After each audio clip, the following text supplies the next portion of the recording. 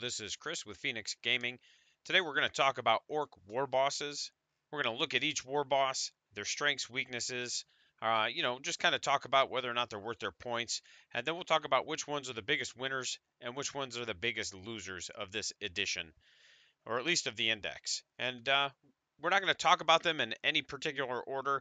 Generally, they're going to be in the order they appear on the index, and then we'll kind of talk about the best and then the worst.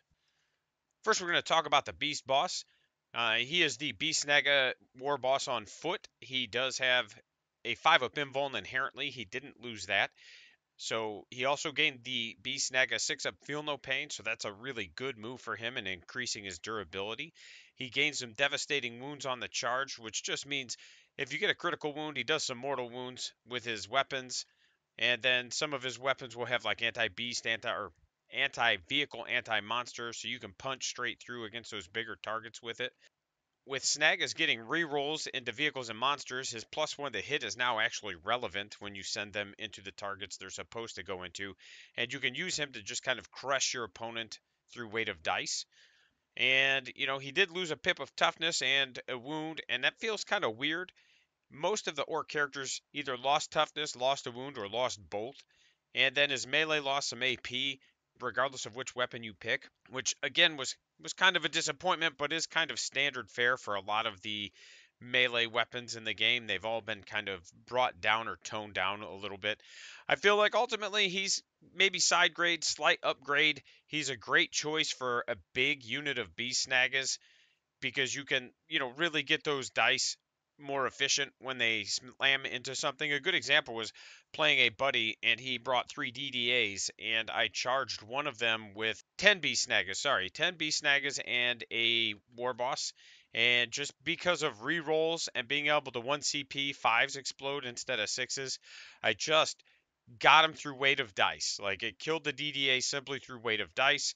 And it, it's kind of neat to see orks interact in that way because they haven't really done a good job of that, and the war bosses can definitely help that. Next, we're going to talk about the beast boss on Squigosaur. It did go up to T10, which does help him become surprisingly durable. You know, chainswords are wounding him on sixes, things like that. He did retain his character invuln, and he gained a 4 plus feel no pain as opposed to his reducing damage. So it does allow him to soak a little bit more than expected. If you've got some good dice, he'll stay on the table longer than he should. And even though he's got some low strength attacks, he's got anti vehicle and monster on his normal swings. And he gives the old Here We Go unit to all Snagga keyword units within six inches so they can re-roll charges. So it does kind of bring back some of that. Again, feels bad that core rules are being taken away and then put as auras, but it is a solid unit that's relatively cheap at 165 points, and he is a character so he can get enhancements. Follow Me gives him an extra 2 inches of movement. The Killchoppa gives him devastating wounds that can stack with his anti-vehicle and anti-monster. So, again, a very good choice. Uh, he can intervene for a single command point, even if you've already heroically intervened this turn. So there's a lot of ways to kind of get him into combat also. The downsides are that it doesn't have the lone operative unit or ability, and it cannot go into units. So he's a big target for any kind of enemy shooting. You know, you're going to have to be a little bit more technical and play him. He does make a great distraction Carnifex, so you can kind of throw him out there, and because he's uh, he's fairly cheap, you could kind of put him out there and hope that he soaks some of the shooting to give your other units a chance to get forward and get where they need to be. It becomes a six of one, half dozen of the other. Do I shoot at this beast boss on Squigosaur that could really wreak some havoc, or do I shoot at the smaller units that are moving towards objectives and things of that nature?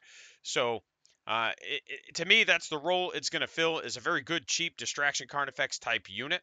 The Deffkilla Wartrike is a very interesting unit, mostly because I'm pretty sure that Games Workshop has some massive typos on its data sheet. It is fast and can attach to bikes. It finally does something. It is just a generic plus one to hit, but that is better than the nothing that it did before, right? And it does give the unit auto advance six inches. So when you declare your Waaagh, you could get 18 inches with him and his unit. So that's that's a pretty solid chunk of ground you're gaining. Uh, melee did go up to strength 10, which will be strength 11 when you declare, which is again really good considering the rest of our melee kind of got brought down in strength. Like power claws went from 10 to 9. Uh, but kill saws did go to 12, and I don't know. It, it the, all of our melee profiles are kind of weird, but his is pretty good. And he did lose vehicle and became mounted, which to me is a very good thing because there's so much anti-vehicle in the game that I've seen, or at least a lot of armies have access to it, that it, it kind of gives him a measure of protection that he just didn't have before. Now he does have some downsides. He doesn't have the character keyword, although I'm I, I do think this is a typo or some sort of mistake because he does have the war boss keyword and he's just always been a character so i find it hard to believe that he can attach to a unit has the war boss keyword and is not a character. Uh, his killa jet lost assault and his guns are still pretty ass. They don't really do much. Like you have a single shot melta so his shooting's still just going to be underwhelming but at 90 points, he can make a unit of six bikes a lot faster and give them plus one to hit to make him a lot more scary in melee. And like I said, just if you're going to take him to an event, talk to your TO before giving him enhancements because he's historically been a character, and I believe rules is intended he's a character, but you and your TOs need to be on your same page before you do anything with him like that. Ghaz, uh, you know, personally, I'm not a fan. I feel like his datasheet's underwhelming. Again, he was on the faction focus, so I'm not going to dive super deep into what he does and doesn't do. He's down to T6 from T7. He's one of the only things I've seen in this whole edition that actually lost toughness. Uh, and, and he only goes in Mega Knobs. He gives him plus one to hit and plus one to wound, which is really good. And if Makari's in the unit, he's got a 12 inch aura of lethal hits, which again is is very good. Don't get me wrong. It's not a terrible da- data sheet, but being infantry doesn't really benefit him much because he's got a massive base. He's really tall and big, so he can't really hide very well anyway. Uh, he's going to struggle to get wholly within un- or ruins unless they've got a pretty big footprint. And at 230 points, I just feel like he's overpointed. If he dropped 15 to 20 points, there's probably some utility there. The problem is that he's competing with Big Meks and Mega Armor for a slot with Mega Knobs, and the Big Meks and Mega Armor to me just add more to that unit than he does. And you, and again, you may disagree. You may think that Ghaz is awesome, and that's fine. Uh, I just am not a fan based on the way I like to play. Kaptin Badrukk, uh, pros, he, he gives full hit rerolls uh, to Flash Gitz with their shooting attacks. He's still cheap, and the Flash Gitz are cheaper. He gained a 6 inch minus 1 toughness aura, which is very good, uh, especially because all of your Flash Gitz now have choppas. And then he's got six wounds. So again, like I don't know why he's got six wounds, but he's got six wounds. Everything else went down in toughness and wounds, and he's just like sitting here with six. So probably because he has a name, and for whatever reason, GW wants us to run name characters this edition. Cons, he honestly doesn't really have any. He's one of the standout characters in our book right now, or our index. Uh, Flash Gitz and Badrukk, to me, are a staple in the army. I wouldn't be surprised if most competitive lists have a unit of 10 with him. They may not, uh, but they are right now. Gitz are sitting at an incredible 19 points a model. Uh, and when you think about the fact that at the beginning of ninth they were sitting at I think 32, and really in eighth they sat at like 25 to 30 most of that edition, and they really haven't changed much from eighth to ninth to tenth. So the fact that they just keep getting cheaper like right now, you can run Badrukk and 10 Flash Gitz for cheaper than running 10 Flash Gitz by themselves when you started 9th edition. So to me, like I said, he's a standout. He's very good. His guns are solid. The rerolls are solid. Uh, you know, you can get once per game lethal hits. Their guns have sustained hits. And if you've got 10 of them, you can throw 40 dice if you're shooting at the nearest unit. So it's one of those where just through, again, ork math, they will do a lot of damage. Mozrog Scarbad, Skragbad, I don't know, Scarbad, whatever his name is, this guy, the big white squig. Uh, he also went from you know T7 to T10. He's got the four plus feel no pain, so he is a beast boss on Squigosaur. He's bonus damage to vehicles and monsters, and even more to Titanic. He does critical wounds on a five if he charges, which just means if you have dev wounds, it'll trigger on a five, etc. uh, and your fives will auto wound. And really, at 195 points, if you grab him and three other regular Squigosaurs, it's still well under 800 points, right? Because each one's under 200 and you got four models. And it offers a lot of durability and some pretty solid damage output. As a, I, I'm not a big fan of spam, but like this is a solid unit that that could get spammed and be kind of tough to deal with because of their perceived resilience. Like the four plus feel no pain is going to feel real good until it doesn't, right? Uh, the cons, I mean, he again, it's still got to get there, and you're relying on datasheet durability with no screening or lone operative rules.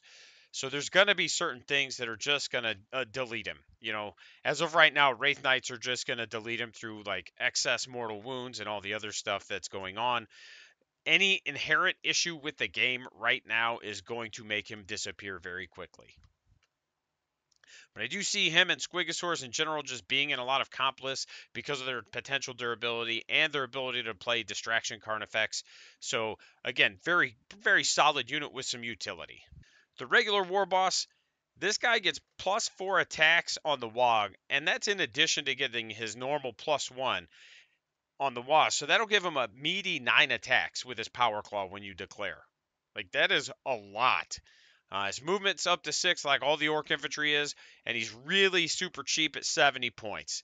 He can go into knobs and make them terrifying with the plus one to hit. Like if you've got 10 knobs with power claws and him, and they just get out of a truck and they just get there, he's a good candidate for follow me in that situation because your unit's now moving eight inches. And if you've got him in the truck, you can cheese that three inches of movement for your disembark. So you're getting 11 inches plus your advance. So it's one of those where you could get him there. Or if you start with him on the table with the knobs, you could give him follow me, and then you can ear we go him to give him plus two onto his advance, and then still like there's a lot of options there. And you know, like I said, when you've got power claws on those knobs, it's what 30 attacks, which is 40 on the Waaagh if I remember right.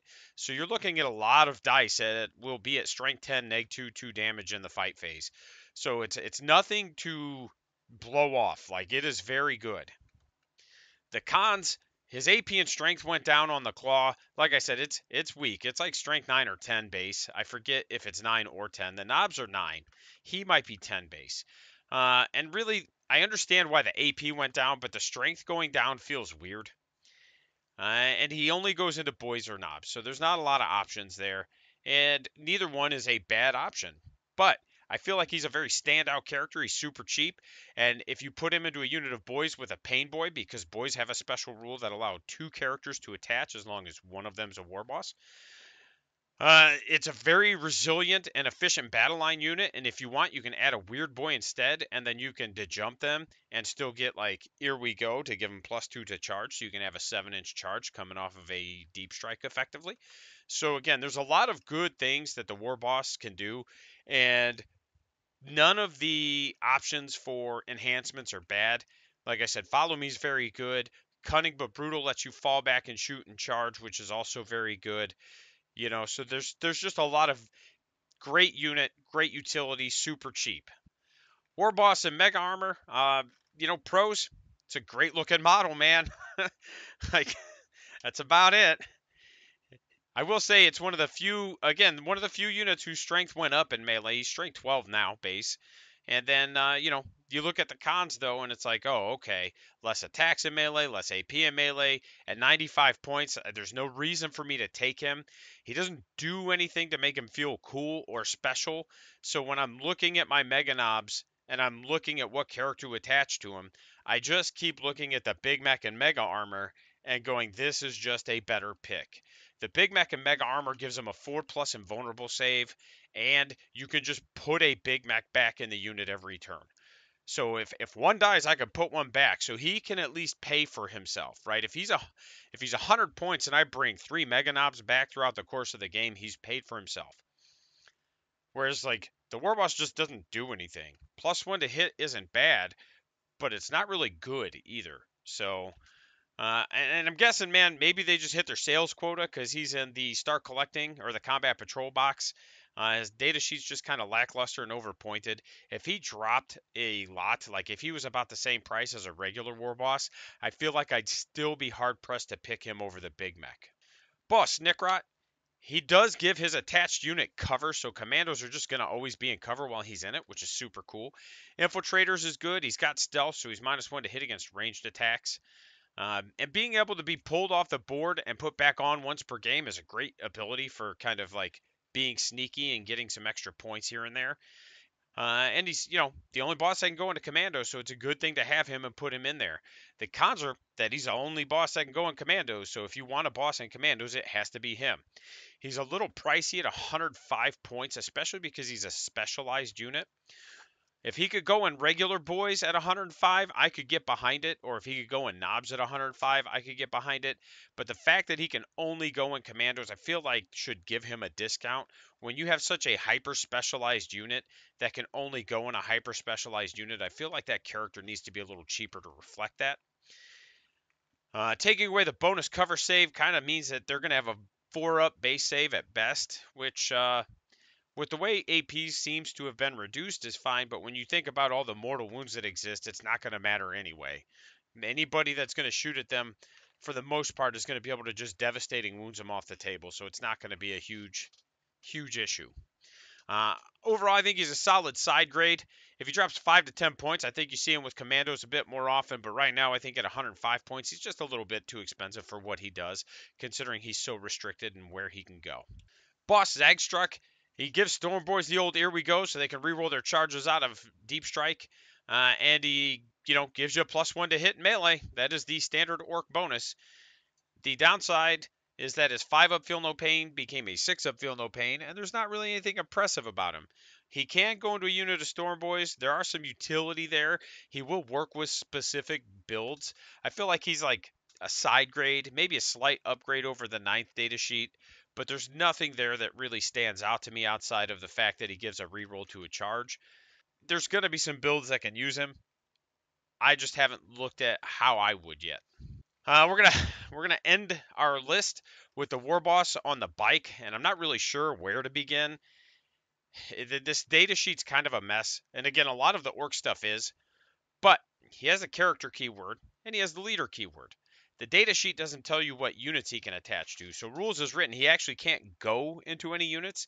So it's it's not the same situation, but it's a very similar situation to the Deffkilla Wartrike.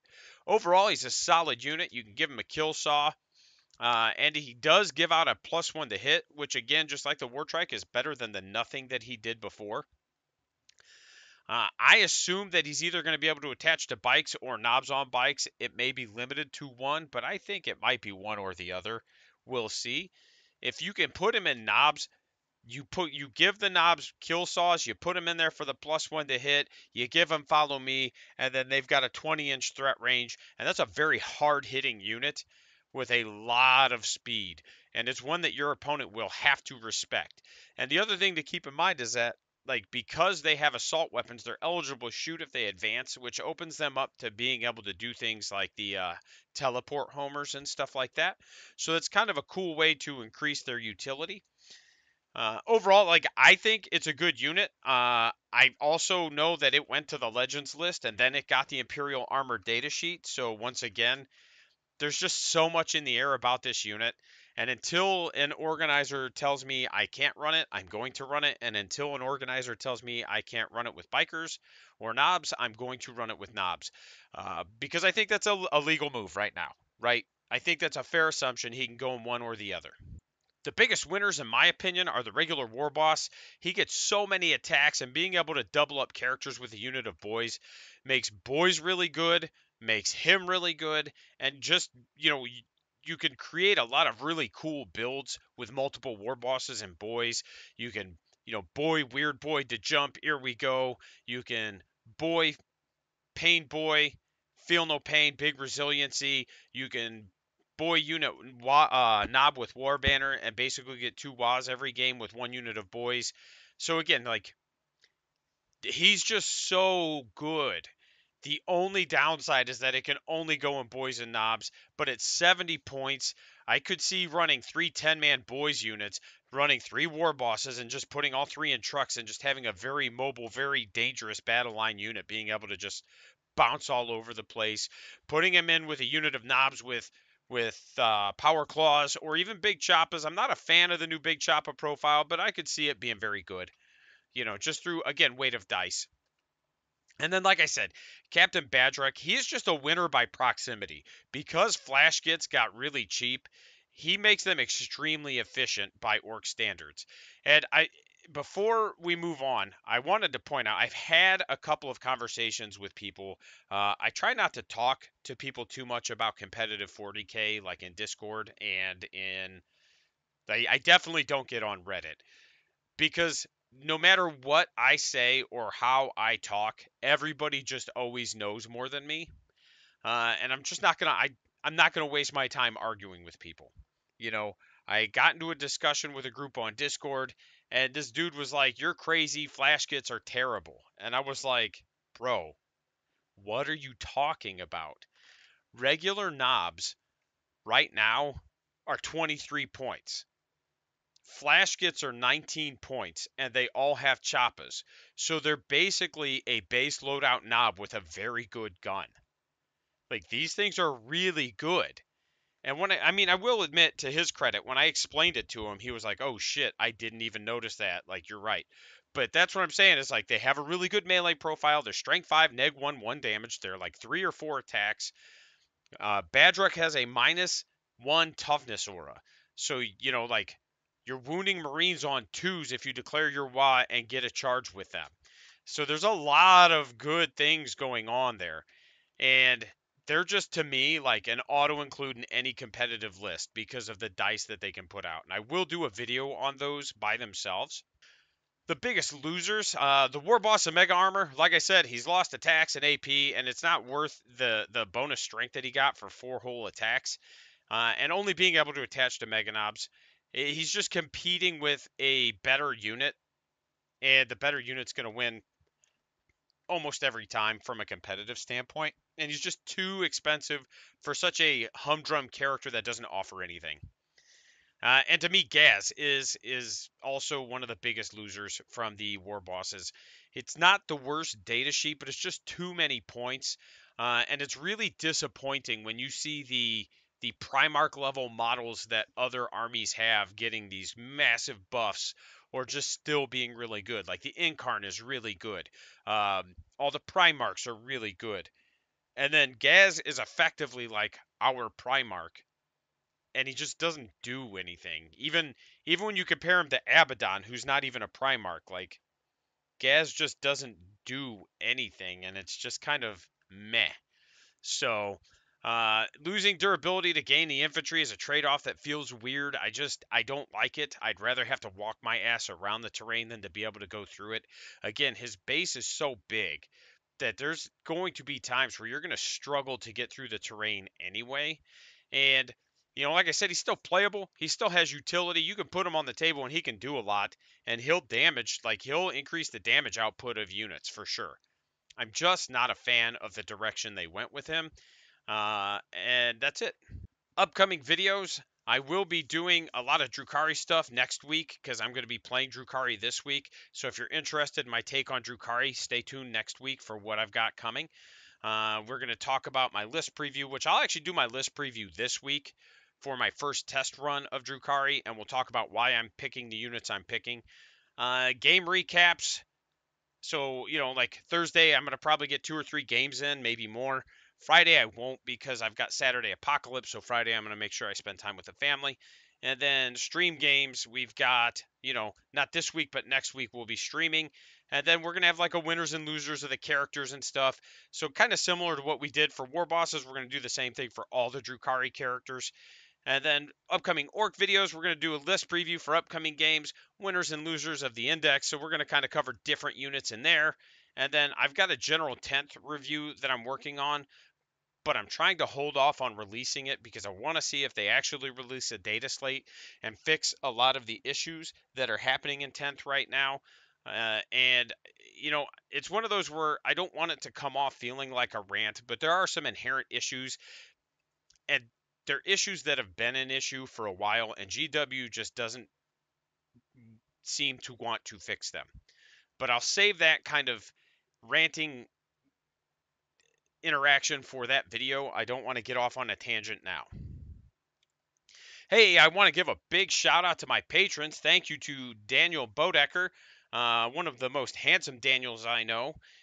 He joined the patrons, and big shout out to the rest of them Captain Too Tall, the real Donnie G, and Lord Wellingstone. And Dan, I will have your t shirt probably this week or next week. I'm working on the new t shirts this week with the new logo and design, and I'll get stickers ordered and everything. So uh, bear with me. We will get that to you as soon as possible. Thank you, buddy.